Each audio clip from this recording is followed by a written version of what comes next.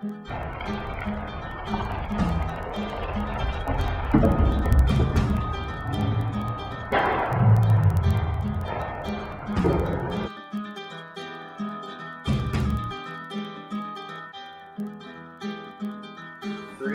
two, one. That's never ever happened. Huh? It was because of the tires. The tires. Outside tires. Yeah, yeah just, you just bumped it. I came out of the slot, but right after that green stuff bumped it.